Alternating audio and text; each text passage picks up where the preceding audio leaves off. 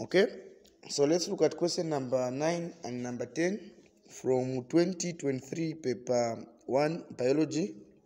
So question number 9 it's saying uh, the diagram shows cells in a section through a leaf of a plant. The diagram shows cells in a section through a leaf of a plant. Then it says which cells contain chloroplasts? Which cells contain chloroplasts? So now, they want us to identify cells which contain chloroplasts. Okay? So we have got uh, one represents uh, the cells of the upper epidermis. Then two represents the cells of the the palisade mesophyll. Then uh, 3 represents the cells of the lower epidermis and 4 represents uh, the cells of the lower epidermis, specifically uh, the guard cell. Okay, so the cells which contain chloroplasts are 2 and 4. So 2 and 4. So 2 that is uh, the palisade cells, then 4 that is the guard, the guard cells. Okay, so the answer is 2 and 4.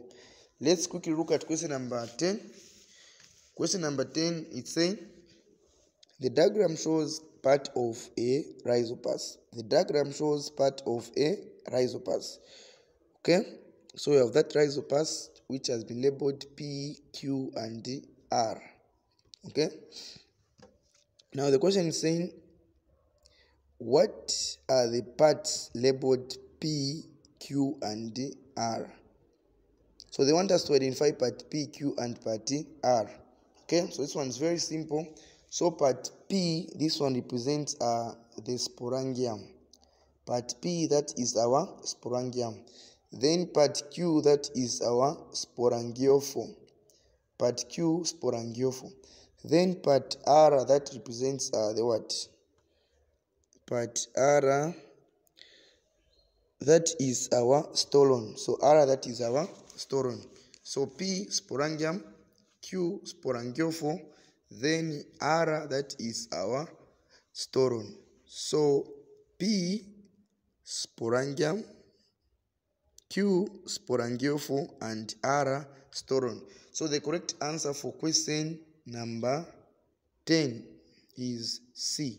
P sporangium, Q sporangiophore and R stolon. Okay, let's move on.